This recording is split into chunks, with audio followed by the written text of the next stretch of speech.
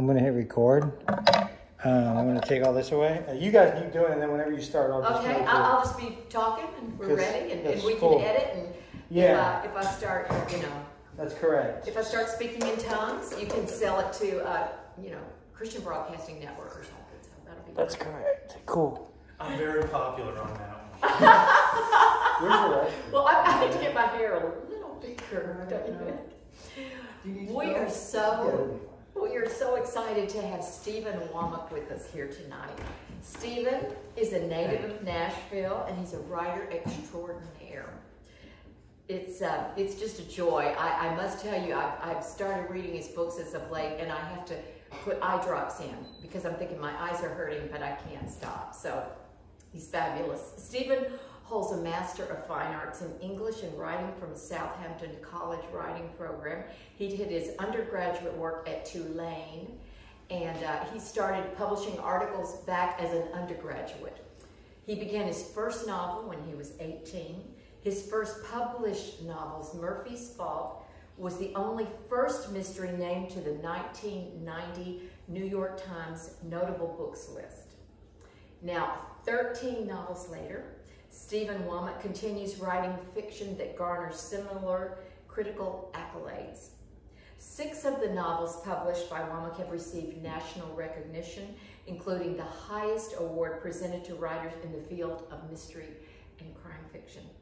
He is famous for this his his detective series about Harry James Denton, and I'm secretly very much in love with Harry James Denton after reading these books. He is he's a he's a great character. I love him. The third of this series, Dead Folks Blues, which I'm reading now, was presented the 1994 Edgar Allan Poe Award as Best Original Paperback Novel by the Mystery Writers of America.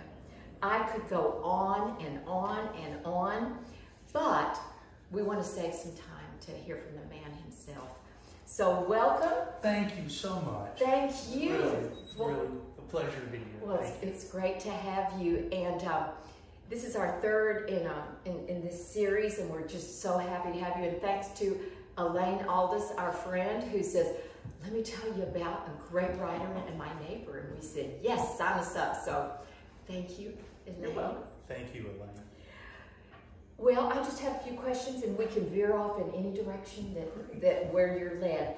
But when did you? I know you wrote your first novel at 18, but when did you first decide to be an author? Was there a particular book, an event, or a person, like the first book that made you cry, or or anything like Well, that? I, did- I owe a lot of it to my parents because they read to me as a child. Oh. They encouraged me to read. Um, my grandparents, I, I read all the time. I spent a lot of time with my grandparents growing up. And, and I just grew up in an environment where I was reading all the time.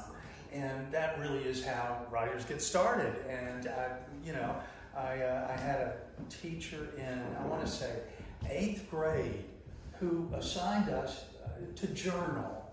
And I had never done anything like that before. I never kept a diary before. But I got into the assignment and what she was doing, and I started journaling. And, you know, I turned in 40 or 50 Oh. pages the first time around, and, and she, this teacher, reacted to it very well. It was very encouraging. So I had some, you know, I had some some mentors and some guidance as a child.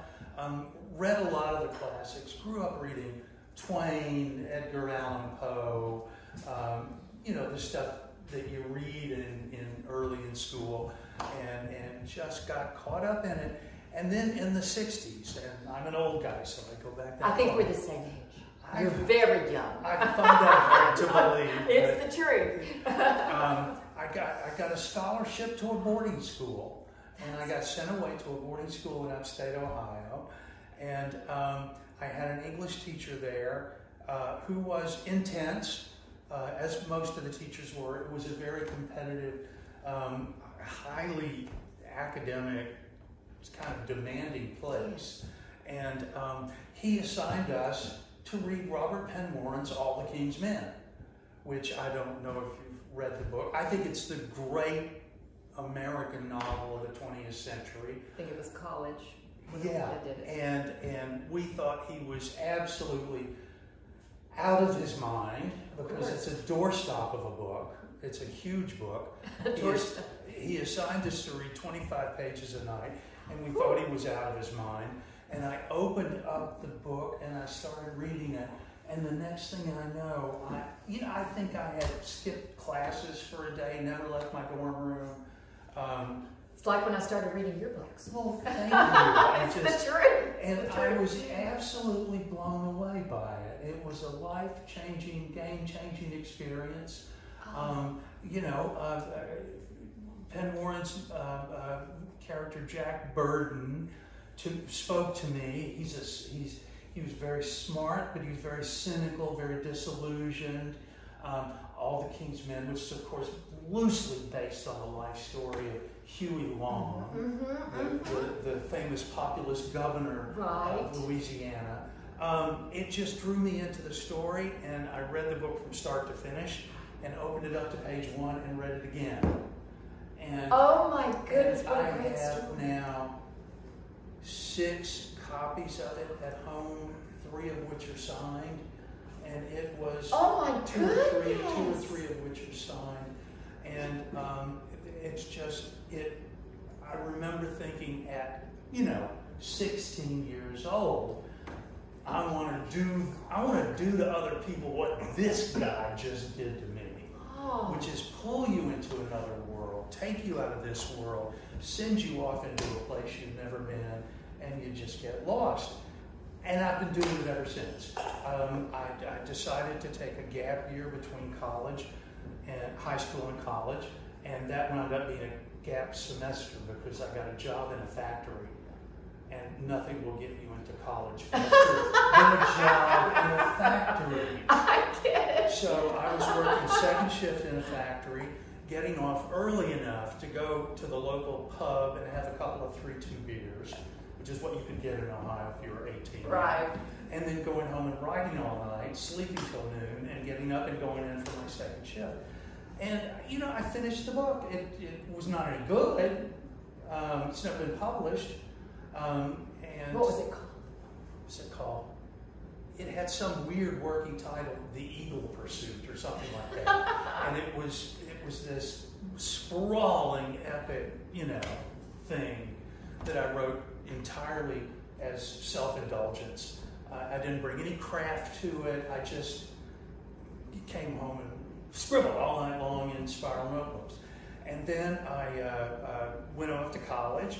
I fancied myself an actor because I'd been in a couple of plays in high school. How fun. And I got down to Tulane where they have a real theater department.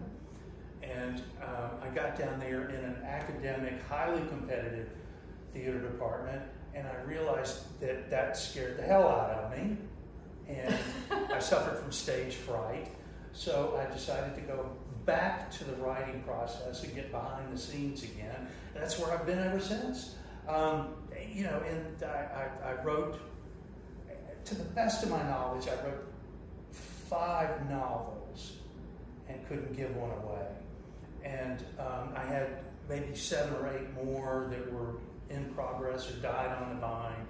And this was in the 70s. Um, I graduated from college, uh, wandered around for a little bit, um, tried to break into journalism. I had a, I was a newspaper reporter in New Orleans. Um, I worked for um, Durer and Cheek Mhm. at United Press International in the 70s. And, but even back then, uh, as far back as the mid to late 70s, journalism was a dying profession. It was getting harder and harder to get jobs, to get decent jobs, to make a living. And of course, that's continued on now to this day to where print journalism, as we grew up with it, it, barely exists anymore, which I think is a great tragedy. Oh But yeah. there's not much we can do about it. You know, the largest newspaper chain in America, Gannett, Mhm. is a penny stock now. And, And what was it at one time? oh, I, I don't know what it peaked at, but it's it's a few dollars a share now. And they're laying off, yeah, they're laying off reporters right and left.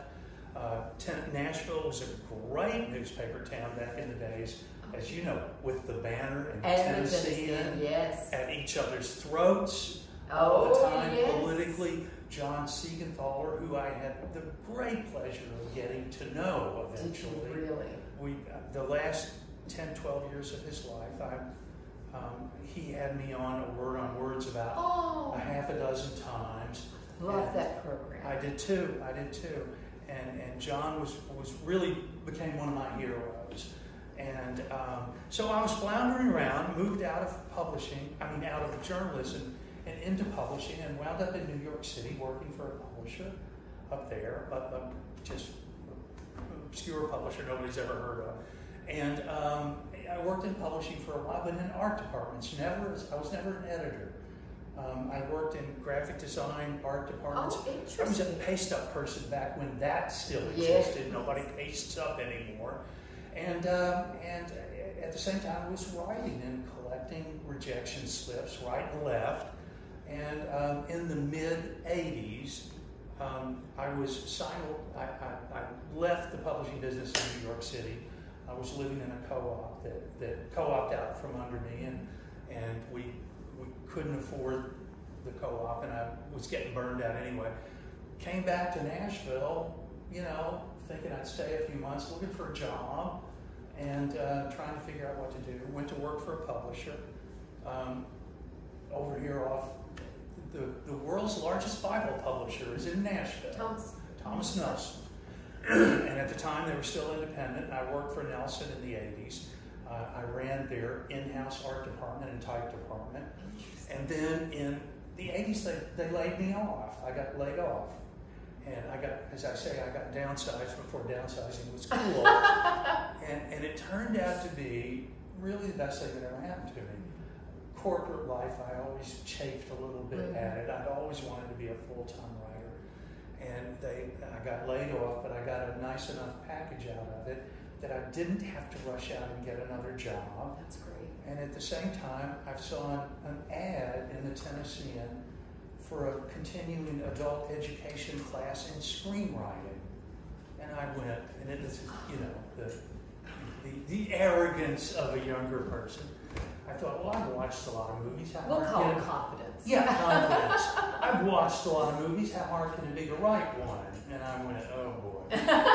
so I took a class in screenwriting, and that was for writers. And I would encourage any writer who wants to write novels, to write narrative fiction, take a screenwriting class. Because the difference between taking a creative writing class and a screenwriting class is the difference between a knitting circle and Marine boot camp. I mean, this, my, my, I had two main screenwriting teachers, and they drilled into me the concept of narrative structure. Yes. You know, you don't just you don't just vomit stuff out on a page and and expect it to work. You have to bring some craft and some structure to it. yes. You have to understand how narrative works. You have to understand what drives story. And what drives story, of course, is what drives people. Story is our- lives and what drives people. So, um, you know, people are, excuse me, as most of us know, you know, most of us are driven by desire. We want something. We go after it. Something stands in the way of us getting it. Conflict results. We get into conflict with people. And of course, that's how stories get con- get started with conflict. People want something, they don't get it. So they do something else to go after it. Yes. And to give you an idea uh, of what a game changer this was, um, I had written a book called Murphy's Fault, which you very kindly mentioned. It had been turned down by 22 publishers over the course of five or six years. Couldn't, couldn't give it away. And I stuffed it away in a file cabinet, basically forgot about it. Fast forward 10 or 12 years, uh, I'm so desperate to get published, I've written a romance novel. Oh, I want to read this. We can make that happen. uh, although I'm sure it needs a lot of work. I haven't looked at it in years. But I wrote a romance novel which got me a literary agent.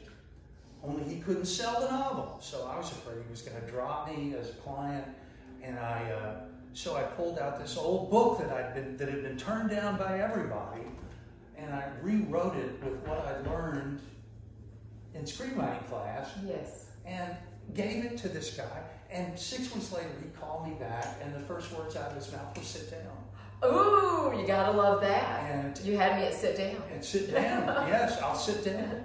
And um, a, a famous mystery editor, Ruth Cavin, at, at St. passed on many years ago, but at the time she was still very active, very prominent, well-known mystery editor, wanted to buy the book. And I was like, there we go. That's it, that's a great story. And it, and it, and then when it made, you know, most first novels don't sell. Nobody had ever heard of me, and you know, most still haven't. No, But- I, I disagree. I disagree. But um, it was a start. And then when the New York Times named it to their year-end list of worthy books, Ruth bought another one, and then there was another one, and you know, you just get these pivotal things in a, in a writer's journey where suddenly you turn a corner and there's something new oh, isn't that exciting? I, I mean, this is a it's, it's, it's a sort of typical story for writers. But I had a book out. Nobody was paying any attention to it whatsoever. I got some nice reviews, but it wasn't selling. And I and a, a writer from West Tennessee, a mystery writer named Deborah Adams, who lives down in Waverly, Mhm. sweetheart. Deb and I are still friends to this day. She called me one day and said, My name's Deborah Adams, and you don't know me. But I have just published my first novel with Random House, and I'm looking for sympathetic local writers who will give me a blurb. And a blurb is where, you know, Yes. you know, Yeah. you, you've got this book, my book by Joe Schmo, and then it says, you know, down at the bottom in print, best book ever written, Stephen King. That's right. That's- that's or. Stephen Wong. Or that's a blurb. so Deb wanted me to blurb her book, and I said, of course I've never been asked before. It was it was a thrill. Of course. I read the book, I loved it. It was this was all the she did a series of books with all the in the title, all the crazy mothers. Oh, all I love that. And and uh, I forget the title of this book in particular, but it was her first one, and this was 30 years ago. And so I gave her a nice flirt. Well, the next thing I know, her editor, excuse me, at Random House, called me to thank me for the blurb and said, I really appreciate it. Always glad to help and see people help other writers. And he said, by the way, Deb sent me a copy of Murphy's Fault, and I read it, and I liked it. And, and he said words which floored me. He said, if you ever want to work together, give me a call. Now, I've been collecting rejection slips, probably have one from him for, at this point, a dozen, 15 years. And, um, and, and, he, and now there's this top shelf editor at Random House saying, if you ever want to work together, give me a call. So I said, I'll have you something in 30 days. And, and, and he laughed and said, well, don't put any pressure on yourself. Take your time. I said, no, I'll have something in 30 days. Hung up the phone and went, oh, what do I do now? Oh, What the hell what did I now? commit to? What do I do now? So I went and found this novella that I'd written. Uh-huh. I decided to write a mystery. I'd never really written, but I'd written it years earlier.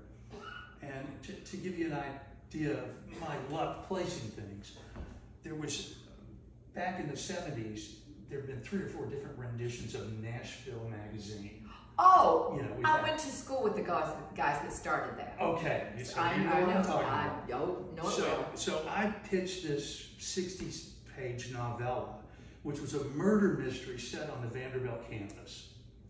And I pitched it to them, and I said, I'll give it to you for free. You can serialize it over several months. And they turned it down.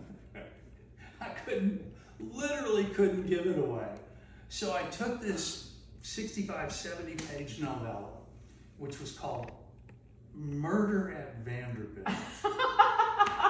Well, it, it And, tells you what it is. and I and I rewrote the first three or four chapters, rewrote the synopsis for the rest of it, and I sent it in to Joe Blades at Random House, and he bought it. And I, you know, hey, there we go. And um, and then the book was nominated for an Edgar, which blew everybody away. And the Random House flew me to New York City for the Edgar's banquet, and the book won. And I was like staggered. And that that that was the start of a, a real uh, beginning for me. Took a while. And what year was this? This was 1994 1994. and again, almost 30 years ago. And um, um, and then he bought another one, and then he bought another one, and we argued over titles. I always struggle with titles. Uh, Dead Folks Blues was not my title. The editor came up with it, Really? uh, but I liked it, so I went with it. And we did this music-themed, you know, title, and uh, did a series. And finally, the third one was a murder mystery set in the country music business because this is um, blasphemy in Nashville that I'm not a huge cute country music fan. I mean, I like it, but you know, I mean, I don't want to get shot going downtown for saying this, but you know, I didn't know that much about Not it. your. It wasn't my. I, I like jazz, Right. and, and so I, I, you know, I did a lot of research and set a mystery in the music business, which is brutal. It's a brutal business. It is. It And is. so, you know, you just, you, you just you started going and things were going great. Those books were uh, uh, optioned for film and television. They were under option for years and years and years. But it's, it's very difficult to get projects like that started, so nothing ever happened. And, um, Yet. and then towards the end of the 90s, uh, several things happened. I did a realignment. I divorced and remarried and started a family very late in life. And at the meantime, the Watkins Film School had started. I was teaching there adjunct. Yes. And they offered me a full time job. So I slid sideways into academia. And I stayed at Watkins for 25 years, teaching screenwriting and film and critical studies. And, and I continued to write, but my output was suffered. And, yes. uh, and those were, uh, there were many difficult years for the publishing industry in general. oh yes. And a lot of midlist writers who were going gangbusters in the 90s suddenly found themselves without contracts and without gigs. yes. So probably, I think the book publishing business probably tracked the record industry about five years behind. I was going to say. I mean, so many people. The is so similar with songwriters. With songwriters and musicians that they would put, um, I made in the 90s, the 80s and the 90s, made some sweet freelance money writing scripts for music videos. I wrote a couple of them and they were great gigs. Who, who anything? Well, the one that I remember that I, that I had the most fun with, there was a group called Little Texas. Uh huh. Remember them? Yes, I and do. they did this ballad, um, this romantic, sweet song. To this day, it brings tears to my eyes. Called "What Might Have Been." Do you remember title. that song? I can't call it It- up, but I it love. It's a great title. It was a story about a guy who meets a woman overseas in World War II during the war, and they fall in love and they dance and they have a great time and they agree to meet up when the war is over and continue their romance. But of course, they get separated and they never see each other again. 60 years later, this guy's, uh, his grandkids and kids are checking him into an old folks home. No, no. And oh. there she is. And it was just, and the guy who directed the music video was a fellow named Jack Cole. And Jack's philosophy was the, the, the record company's philosophy was let's make a music video to sell records. Mhm. Jack's philosophy was let me take a music video and all that record company money, which at that point they were putting high five and six figures into music videos. He said, let me make my movie. So he wrote a he I wrote a narrative script with that song as the score for an eight-minute movie. It's still on YouTube. You can still find it, I'm watching it and it's it's just the sweetest little thing. What and might have been. what might have been. It'll just it'll bring a tear to your eye. Oh, that's a, oh, It's, it's syrupy romantic. well, you gotta love Jack that. pulled it off. So that is. you know, and um, boy, that was a long-winded answer to one question. I am sorry. I am in, I am in ecstasy. I love hearing these stories, and you're you're you're a great. I started to say you- you're a great storyteller, but I guess that's what you do, isn't it? well, it's, it's wonderful. It's Thank you. absolutely thank wonderful. you. Thank you. I, I love hearing all these It's stories. fun- It's fun. talking to you. Fantastic. That's fantastic. Uh, question, just about your process. What do you do when you're deep into a project and you're just really going at it hundred percent, but then this other idea comes in and you think, ooh, that's really a good idea. Do you go to the new idea? Do you stick with this? Do you just go away for now and write it down? Or do you change Yeah. gears? No, I can't. Uh, it- it- a lot of it depends, but when when I'm really into a project, you get in this zone where that you just laser locked. Yeah. That's all you can think about. And I don't do this anymore because I'm not as young as I used to be. but in my younger days, I would just get medieval on it Uh-huh. and would work. Uh, un, you know, I was finishing. I can't remember what book it was, but it was one of the Harry James Denton books, and uh, I, I I saw the end coming. I was four or five hundred type pages into it, saw the end coming, but didn't know exactly when I was going to get finished. And my my my wife went to work, and I was home alone, and I started writing, and I don't know what came over me, but I just I did 22 pages without stopping, and in the middle of it, and I'm sitting here in my desk upstairs, typing away, laser lock, and I had this sudden, overwhelming stabbing pain. And I thought, am I, is this the heart attack going to finally hit here? And I thought, no, eh, but I, let me finish this page, let me finish, this, let me get this page, let me, let me finish. And then I stopped and I went, what in the hell is going on? And I realized I had to pee. And I had been sitting there for hours with a big mug of coffee, working away and not paying That's attention. focus. That is Not- focus. Not, paying the right That kind is of focus. attention. So um, I'm glad it wasn't a heart attack. I'm glad. That was saved for later. Yeah, that was later. That was later. But um, you know, you just you get into it. Of course, when you're in the middle of every writer has a different way of, of attaching of attacking this and the process. I do loose outlines, big Yeah. picture outlines. I mean, I know where the book's going to go. I know where it needs to get. I know how it's going to start. I have an idea of the principal landmarks in the journey. But but basically, you just you know once you get that stuff laid down, you you you, you have to be open to surprises as well. And sometimes stuff comes to you in the middle of a scene or the middle of a chapter or something, and you go, oh wow, where did that come from? But I'm gonna I'm see where that down. goes. Yes. That's yes. a nice surprise. So you said you knew the middle and da da da. Do you always know the end?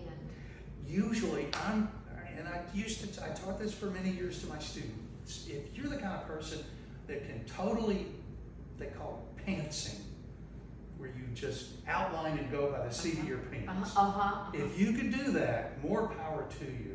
But most of the writers I've known need to have an idea where the story's going. Yeah. And that usually means how it's going to end, Yes. if it's a mystery, who's the bad guy? Depends on the genre. Uh, You know, if you're writing a romance novel, you know, are the people going to be together at the end? Right. You're going to get your happy ever after, or are you not going to get your happy ever after? Exactly. So that, for me, it's just a matter of, of doing a lot of groundwork and homework. Um, I'm stuck now on a book because Harry's, the book I'm working on now is, is a really uh, personal book for Harry. And I don't know that there's much I can say about it, but Harry went to college in Boston in the 80s. And then somebody comes back into his life from that time that he hadn't seen in decades. Who, and there's a terrible secret involved. And it was somebody that Harry was involved with at one point. In fact, I think I think the tagline for this book in is for, for this book is um, she could have been the love of his life if she lived. So Ooh. so Yeah. Harry's gone going back in time. But I'm stuck because I don't know how to I've never I never lived in Boston. I've been to Boston. Uh, I've got friends from Boston. And early on in that series, I put Harry in college in Boston, and I don't have any idea why. I was just building a backstory for him. and now I'm Right. stuck And with now it. you're st- oh my goodness. Now I'm stuck with Road it. Trip, road trip. So, and then I, I don't want to want, I don't want to write an extended flashback of Harry back in the 80s with this person. On the other hand, the reader needs to understand that's where it came from, that's where this is all coming from. It's part of his life, it's part of his story. So, So this is in progress right now. this one's, I'm working on it right now while doing some other projects as well. Interesting. Yeah. Well, I can't wait. Oh, I cannot wait. you. Now, um, how much of Harry is you? Wow. Um, you know, back in the 90s when those books were very popular, people used to me that. and I always, I never could quite figure that out. Um, Harry's, um, in the books, Harry comes, I think, um, sometimes he's kind of adrift, sometimes he's trying to find his way. Harry, in fact, is much more better put together than I am. um, he's, he's, he's, he's sort of confident, uh, but not overly so. Um, there's a bedrock ground, fundamental sort of rock to him that he's solid underneath. I don't know that I am. I struggle with it. Um, but he, he's, he's very smart, very inquisitive. And, but more than anything else, and you're, you're reading the book now, Harry's not a tough guy. He's not Jack Reacher. He's not. Um, he's, he, he solves the mysteries and the crime primarily, primarily with his intellect. He's a smart Right. guy. Right. Um, one of the things that I wanted to capture in this film, I, I actually love sort of the old school hard boiled detective fiction. Um, you know, and, and the writers that I love who wrote that stuff, I, I really love them. I can't do it because my take on violence. Um, I mean, you're, if you're reading the book, you know, at one point Harry gets hit, and he spends the rest of the novel bitching about how much it hurts. Right, you're right. You're right. you know, it. You know, I, I, I, I always had a problem with movies and books where you know somebody gets hit or they get shot in the shoulder and they go, "Oh, he just winged me." I interviewed a doctor once who who who said that it drove him crazy the way violence is depicted in fiction.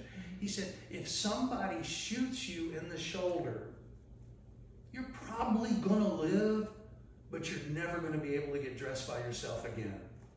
I mean, Interesting. you know, that, that kind of level of violence is devastating to the human body. Yes. And I wanted a, a sense of that. And in one of the other books, um, Harry almost gets killed a couple of times. And I, I tried to write a sense of the terror of it and, and the, the unbelief that the, the oh my God, this isn't really happening. Right. Because I, you know, I enjoy. Actually, I've never read a Lee Child book. I, people tell me I should read them, um, but I've seen excerpts from Tom Hanks Jack Reacher and this new guy, Right, the Australian exactly. guy as Jack Reacher, and they're great entertainment, but not anything I would have trouble writing it because it's the violence is so Yeah. cavalier, Well, and yeah. you know, and I, I got in one fight in high school, in boarding school. My roommate I weighed about 120 pounds, and my roommate was on the football team. And we got to scuffling around one night in our in our dorm room, and it got out of hand. And pushed me down on the dorm room floor and leaned over to help me up. And I was mad, so I kicked him and jumped up like this. And that's the last thing I remember. Oh, I He came. still All I saw was a, was a fist flying at me, and then this eye socket here exploded. So, yeah, I learned, I learned very, uh, very early in life, don't fight. That Just don't- just don't right. go- Don't fight. Just don't go there. Know. Well, Harry is very believable. I mean, he. You're right. He's not the type that would get shot and go, oh, you know. Yeah, I'm just, it just, Okay. it's just a flesh wound. Yeah, no, I yeah, I like. He, he's. Um, I'm thinking of. Uh, yes, some of the, the things on Netflix and all. You're right. It's like people are having all this violence done to them. They just get right up and next project. Yeah, it's, It's- not. It's not real. It's great entertainment, but that's all it is, It's entertainment. That- I love that doctor. That doctor's remark. But you never get dressed by yourself. Yeah, you're gonna need help buttoning your shirt for the rest of your life. That's amazing. Well, talking more about your process, I find that very interesting. So when you were when you're writing, are you thinking Freytag's pyramid? I mean, you, are you thinking falling action? Are you thinking following all the, the conflict? Uh, you know, you're thinking about how to. And that came out of studying the structure of screenwriting and narrative fiction. Yes. Yeah, that you're, you're, the, the, the, the whole note, and I used to really try to impress this on my students. Every scene, the, the life's blood of this kind of storytelling is conflict. Yes. Every scene's got to have conflict. Yes. Um, characters, your main characters come into a scene at one place, they leave the scene at another yes. as a result of the conflict and what's taking place in the scene. And what happens in this scene leads to what happens in the next. Because of this, this happened. Because of the cumulative effect of this and this, a third thing happened. And if you just build that up yes. and remembering, linking the scenes together, pretty soon you're gonna. I had somebody once say to me um, at a book signing that I was signing books, and, and the person handed me the book and said, I, I really enjoyed your book, thank you. You're from the one damn thing after another school of plotting, aren't you? And I went, Yeah, okay. One, one damn thing after another, that'll do it. And you just pile it on. You just Well, pile it on. whatever you're doing it's working. Oh, thank you. Well, let me ask you this: talk about the screenwriting. If you had to describe a perfect, script, the most perfect movie script ever written, what would you say? Ooh, I've got a few. Well, you I've can give me five. You can give me ten. I, you I can give, me well, I won't give you that many. um, I used to, all my students um, studied and read uh, Casablanca. Mm-hmm. That's a great script, uh, and it's a, it's, it's a, in the history of filmmaking. It's, Mm-hmm. it's an important script to study for screenwriters Mm-hmm. because there are five separate subplots in Casablanca. If you, Really? if you thought about deconstruct it, there's there's five different subplots. It's a very complicated. Of course, it was written by three of the greatest screenwriters who ever lived: the Epstein brothers and Howard Koch. Yeah. And they're they were Julius and Philip Epstein, and and directed by one of the great directors, Michael Curtiz. and um, and then of course, modern times. Uh, good heavens, Grosse Pointe Blank. Uh, the, the if you've ever seen that movie, Mm-hmm. um, it's incredibly well put together and complicated. Um, all my students read Chinatown by Robert Towne. They all read um, Body Heat by Larry Kasdan, Is that With- the Kathleen Turner? Kathleen Turner, and William Hurt. I watched it uh, last week. It's an homage to Oh to. Double Indemnity, the great Oh film of the 40s yes. and 50s. It's a Yes. fabulous The movie, twist isn't Oh, it's unbelievable, unbelievable. And um, and I had the great thrill once. Um, I, I went to graduate school at Southampton College, and um, they do the Southampton College Writers Conference every year there, or they did then. And um, uh, Kathleen Turner was a guest, and she and Alan Alda and Uh-uh. Roy, and Roy Schnott Scheider um, from Jaws. They Yeah. did a dramatization of a radio play on stage, and it was a great thrill. The chance to meet her and see her in Oh. action, and Their chemistry in that, in Heat. unbelievable. When he crashes to the window, breaks the glass. Remember that? Well, th- th- in narrative structure, uh, Joseph Campbell. Yeah, love Joseph Campbell. Joseph Campbell, study Joseph Campbell and Chris Vogler. There's a step in the hero's journey called crashing, cra- crossing the first threshold, and I, and that's the that's the the crossover from Act One to Act 2 Mm-hmm. when the protagonist commits to this special journey of the film. Mm-hmm. And in Body Heat, it's literally crossing the first threshold. He's standing there looking through the window at her, and he picks up a lawn chair and throws it through the window It's unbelievable. and goes in, and they're on the floor together. And it's it's amazing. And it's say it again. It's called cro- Crossing the first threshold. cross, and which leads from Act One to Act Two. Is that what you're saying? Yeah, and it's literally, in the case of Body Heat, a literal, Literal threshold. crash. He busts through a door. I love that. It's a moment. I mean, I remember when I saw it in the theater. There was an audible gasp Oh, yeah. in the room, Oh yeah. and there was when I was watching it at home by myself too. It's just phenomenal. Their their chemistry is just amazing. I mean, the act, the writing, everything in that movie. it's it's wonderful. It really it's is. wonderful. Really interesting. So yeah, that, that's very enlightening. Um, going back, rewind just a second. You had talked about some of your titles. You said that I think maybe one of your publisher did did vote the that was your Yeah. editor or publisher or something. Yeah. How do you come up with titles? Ooh, again, and I used again. This was a whole lecture in my in my intro screenwriting uh, class at Watkins. The, the title of a movie or of a book, it's absolutely critical because that's your exposure to Oh. an audience. That's the It's your face. that's the number one marketing device. So um, a, a, an evocative, unforgettable title is key. And boy, they're hard. And um, th- you know, the best ones really are, and I don't do this all the time, but the best ones kind of are short and evocative.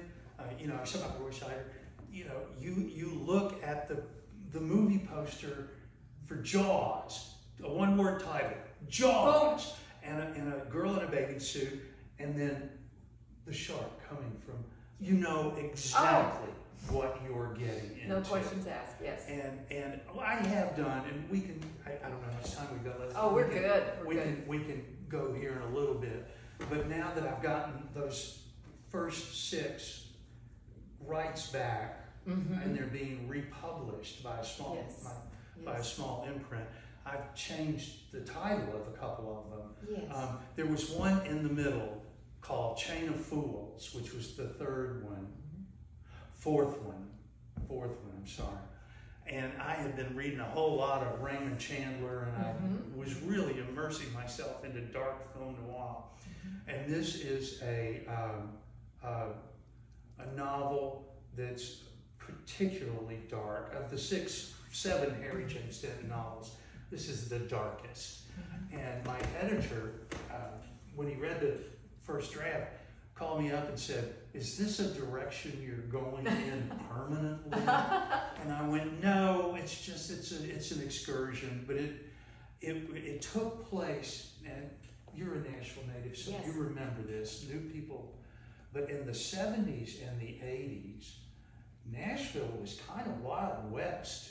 Oh yeah. You had out Eighth Avenue near Douglas Corner and the reservoir. The reservoir. Mm-hmm. You had a strain of massage parlors. Oh, I totally remember it. Yes. And and then you had this outbreak of what's euphemistically called gentlemen's clubs yeah. in Nashville, which are strip clubs. Right. Of course. And the, the, there was, there, Nashville was a bawdy, raunchy Mhm. city. And I had gotten my first job. This was this is what inspired the book. You're talking where ideas come from. I'm driving to work one day. Thomas Nelson is out by the airport. yes. I'm on I-40 West, headed uh, I-40 East, and I go by Second Avenue, and this is 83, 84, And there's a new billboard up that says world's largest adult bookstore, exit here. And I'm going, I'm on my way to the world's largest Bible publisher, Right. and I'm passing the world's largest adult bookstore. There's a story here. Yes. And there was. And and so I wrote this book, Chain of Fools. My editor wanted to my editor wanted to uh, uh, change the title to keep it in tune with music themed. So he called it Chain of Fools. Well, there's a character in the book.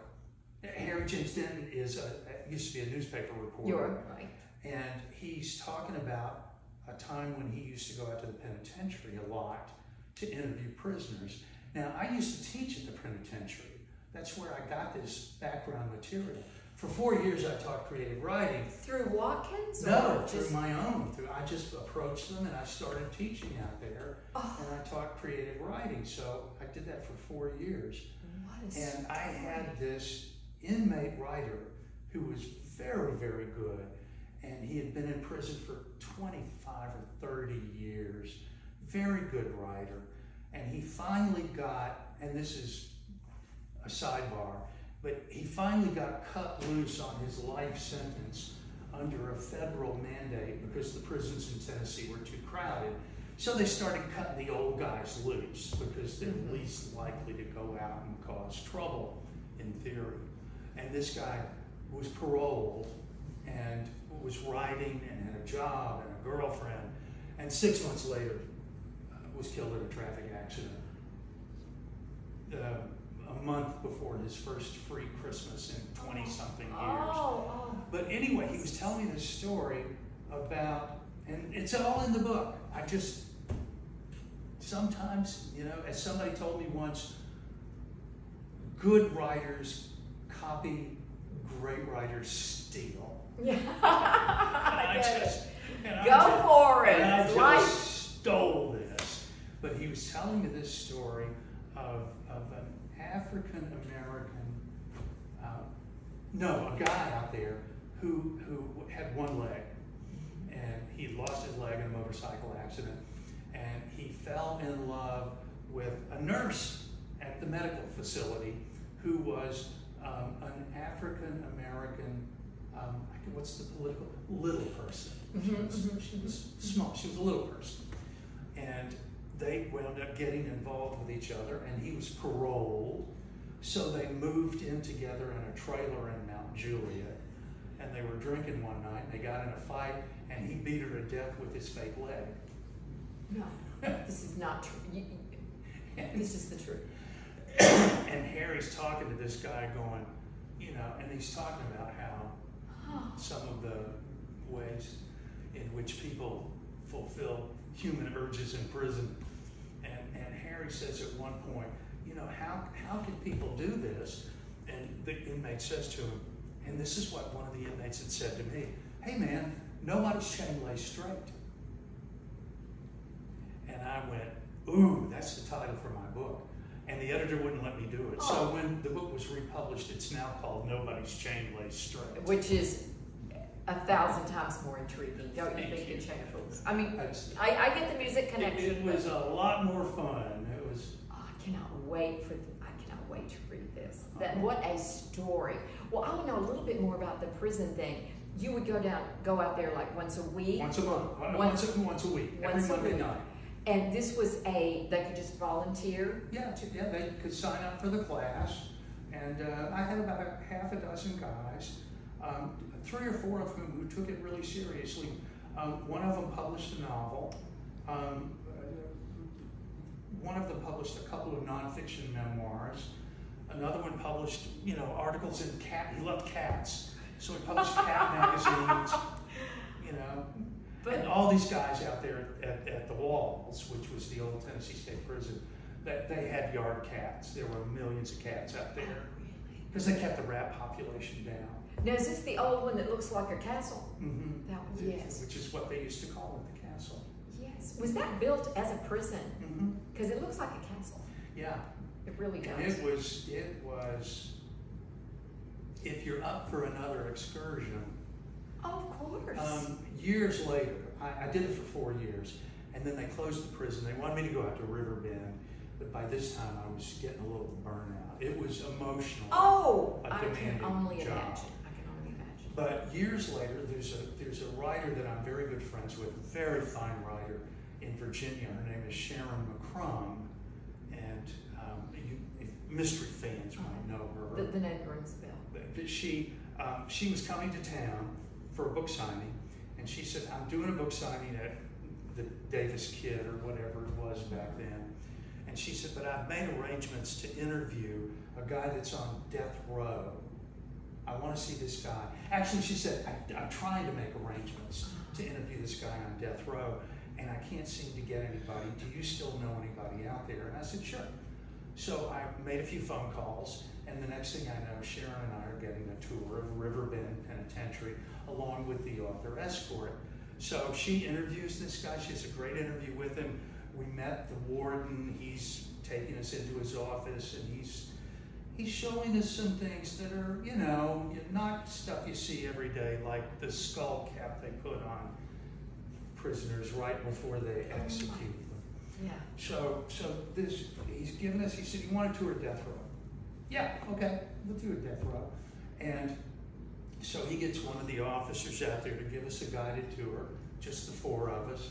We go into death row, and there's old Sparky, as it's called, the electric chair.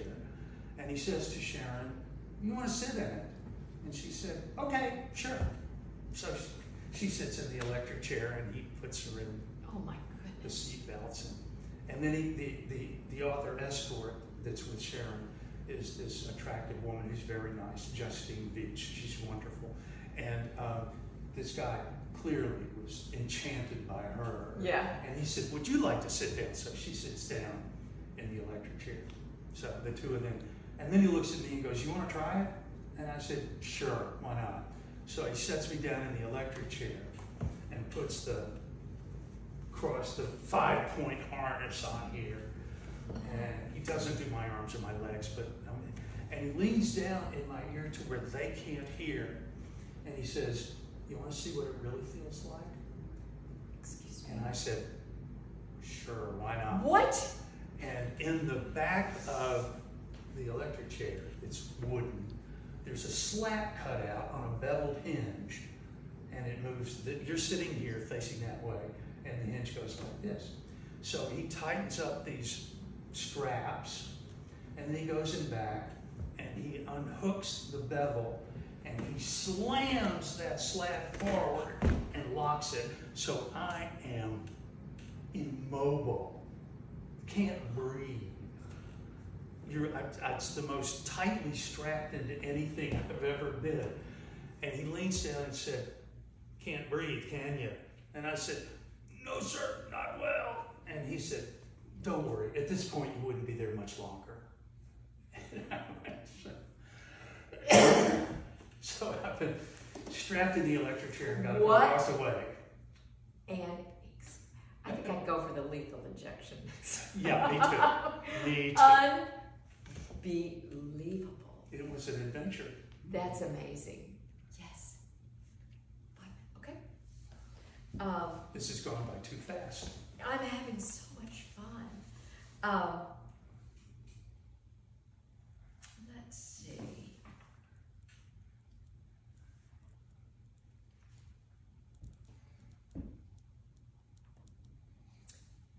Is Harry James Denton your favorite character to write for? Uh, yes. He is. I mean, I've been doing him the longest. Exactly. Um, you know, uh, God willing, I'll keep doing it if people keep reading them. Um, I've got the eighth one is underway. Um, I don't know where I'll go with him long term. Um, there is a Swedish writer, Henning Mankell, Hmm. and I, if you're if you're a fan of Swedish mysteries, you know who he is. I missed that one, but Henning- I'll check him out. Mankell, and he has a series character that's been very successful. It was made into a Swedish television series that ran for over a decade, and I watched it subtitled in Swedish. That's Oh my good it was. goodness, yes. And then Kenneth Branagh did a, an Oh. adaptation for BBC, which in my view was not as effective, but it was still good. But um, in in the Henning Mankell novels, um, he there's like 19 or 20 of them, and he wanted to bring it to a close. So he did something that I'd never seen a writer do before, which is two or three books before the anticipated end of the series. You start noticing that his series character, whose name just escaped me, Henny Mankell, wrote the, um, and I, I'm sorry, I'm embarrassed, I forgot. Don't be, don't be. But he, he wrote, you start to notice there's something wrong with the character. There's something, something's not right with him. And that goes on for two or three books. And in the last book, we discover his Alzheimer's. And in the very last murder mystery oh he solves goodness. is right before his Alzheimer's becomes full blown. Now, I'm not going to do that with Harry. No, But it's an it's, a, interesting it's, a, it's a very interesting way. Interesting way. Because it's kind of In the- so life. In the So very life. last book, Harry is almost retirement age, and his daughter, who has become a police officer as well, has to help him get through his last case.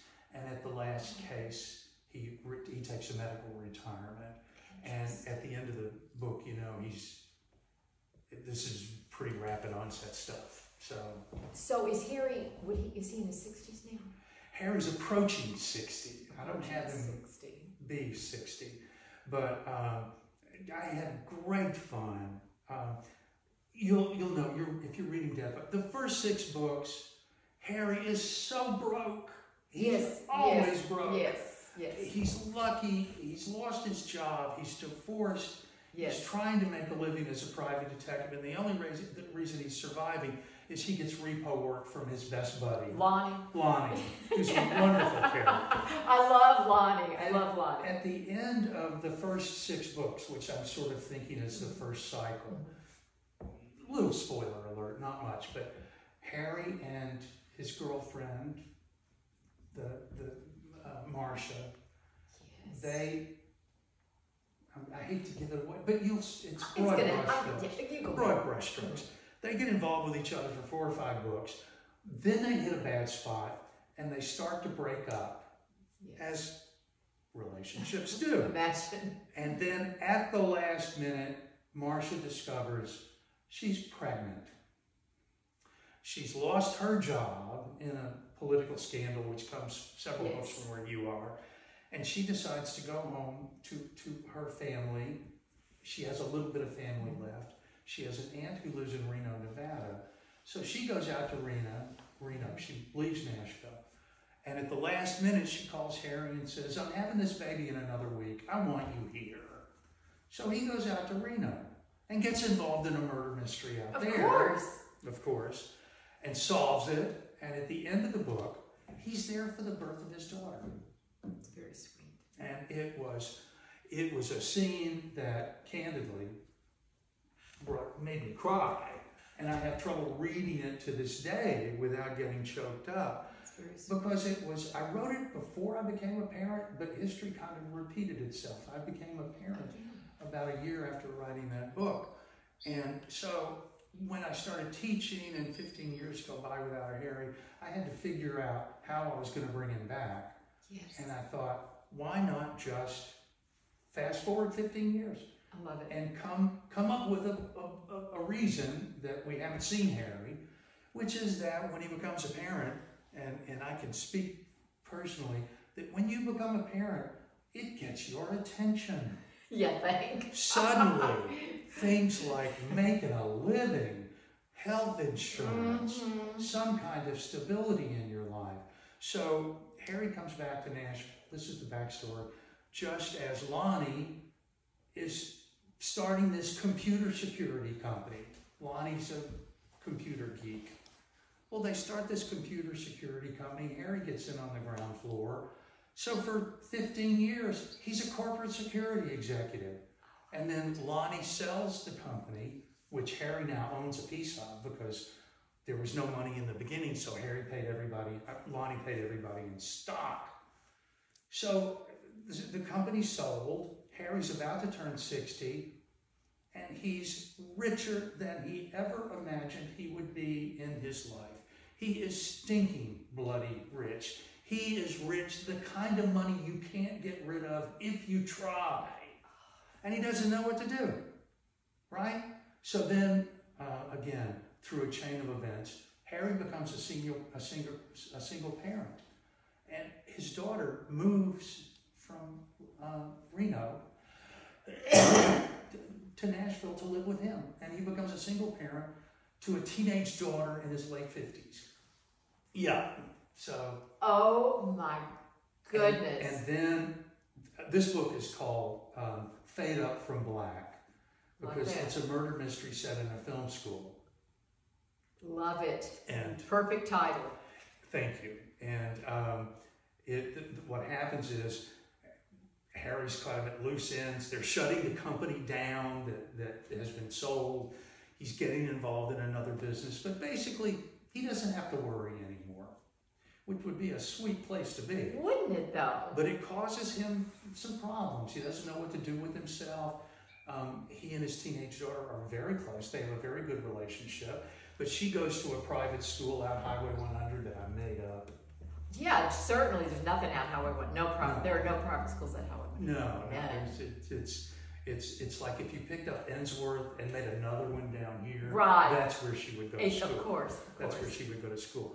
And so um, he gets this, uh, one of my favorite goofy film noirs is, is an Edmund O'Brien movie called, and I'm going to tell you, I just forgot the name of it, DOA. Have you ever heard of DOA? I don't think so. Have you oh, seen I, it? know- I don't think I know. one of my It's, it's, it's, the, Don't be the, sorry. it's a classic film noir from the late 40s, might be the early 50s. I used to teach it. And Edmund O'Brien is the protagonist. And at the opening of the movie, he's really sick. He's not doing well at all. And he walks into a police department and says, I want to speak to somebody about a homicide. And this, okay, I'm a homicide detective. What can I do? He said, I want to report a murder. And the detective says, okay, whose murder? And Edmund O'Brien says, mine. And I, I just love that It's the opening. Yeah, I I'm love that. sorry. It's a goofy I movie. need to do this. It is. It's a. It's a really, in many ways, a goofy movie. But but what fun! That's a great. That, that's a it's great premise. Yes. So I have a guy walking into Harry's office saying, "You're a private detective." He said, "Well, I used to be. I'm not anymore." He said, "Well," and the guy says, "Well, I used to follow your cases, and you used to be a newspaper reporter. You were a, good. You were a really good newspaper reporter. You covered politics." And Harry's thinking, "Oh, is this guy a stalker or what?" Yeah. And he said, Yeah, but that's a long time ago. That's a couple of careers ago. I don't do that anymore. And and the guy said, Well, I want to hire you as a private detective. And Harry said, For what? And he said, I want you to investigate a murder. And Harry says, If there's a murder, you need to go to the police. And the guy said, Nope, this is you gotta do this. And Harry said, Okay, whose murder is it? And the guy says, Mine. I'm gonna be dead soon. And Harry blows him off because he he thinks the guy's nuts. Of course. Of course. And so, and then the guy winds up being killed. He winds up being murdered, and Harry's guilt ridden, so he decides to solve the murder. And is this the one in, in, The in new one. This is the, The this newest is the one. newest one. This is the one that came out last year. And, and it's what's the title of it again? It's called Fade to Fade Up, Up from, Black, That's right. Fade up from which is a loosely adapted film writing. Right, term, exactly. You know? So, um, and of course, again, this is a little bit of a sidebar, but I worked, this book came about um, in January of 2020. The Watkins College of Art and Design and the Watkins Film School went under after 135 years. And I've been there 25 of those 35 years, and the college just collapsed. They ran out of money. So What a shame. it was. It was a very. It was a a difficult time. there. Oh It was yes. a difficult, painful time. And those of us who'd been there for a long time knew it was coming. We knew it. I'm sure that though you look over all those years and think how many students you've influenced, They how were many you've mentored, how they- many you've helped. They were wonderful, and they and it, it's so weird it, because you get it's it's very conflicted. Um, people have this myth that college teaching is somehow glamorous. That you know you're a college professor and you teach a couple of classes a week, Right, and then in the summertime you go to conferences in exotic places, right, and you hobnob with your fellow wizards. right. At Woody Allen kind of parties. Yeah, yeah, intellectual to college teaching is a ruthless grind these days. Um, if you're at a top-notch university where you make a lot of money and they have a lot of money, that's one thing. But for most people teaching in small colleges, community colleges, independent colleges, uh, it, there's there's there aren't enough, there's not enough money. There's not enough students. Um, we five or six years ago there was an article in the New York Times about the future of higher ed in America, and higher ed we're in trouble. Um, this guy wrote that there would be 15 to 20 colleges a year closing in America for the indefinite future. We have too many colleges and not enough warm bodies to keep them open. And you know, a college like Watkins, which was had very little endowment, um, they didn't have a whole lot of money. They were in a weird position legally because they were the the the will that created Watkins Right, said that they were a ward of the state, which means the state controlled the college. The governor appoints three commissioners, but we're not a line item in the UT system, so we don't get any money from the state. They don't get any support from the state or regular support. yeah. So, um, you know, the college was limited in what it could do, resources. It was a, I, if I had it to do all over again, candidly, it would have been a difficult choice to take the job. The pay's terrible. I'm sure. Fringe benefits were terrible. I was constantly scrambling for extra. I mean, I taught at Belmont. I taught at I taught at Belmont adjunct in their film program. I taught film at Vanderbilt as an adjunct. Um, I taught at uh, TSU and Nashville State Community College. Just tried to call together a living while writing at the same time. So that was that was a weird transition, and I decided to get it out of my system by writing a murder mystery set in a film school. Fabulous. Well, you have been fantastic. You, Oh, I, I thank consider you. all night. We Thank go you. on for for a while. I, I, I only want 17 more hours every time. Is that okay? That's what that works. Thank you so much. Thank you. We've been with Steven Womack, as I, as I said earlier, writer extraordinaire. And uh, we just thank you so much for your Thank time. you. It's a I pleasure. have a million more questions. I'd love to talk to you at length anytime. We'll do that. Thank you so much. Thank It's you. been great. Thanks.